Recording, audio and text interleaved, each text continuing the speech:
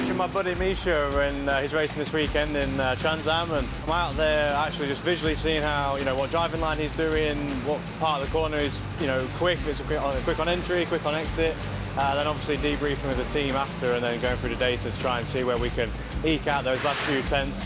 He would lose to me in squash, so my ego gets, you know, a little bit confidence boost, and I can go push harder. That's uh, that's his job here. That's a good job. yeah, for sure. He said you were just his squash partner, and it helped his ego. I'm, uh, I mean, It's not a bad starting position, but this race uh, will be about uh, keeping the tires towards the end, and uh, passing is notoriously hard, so we got to make the start count.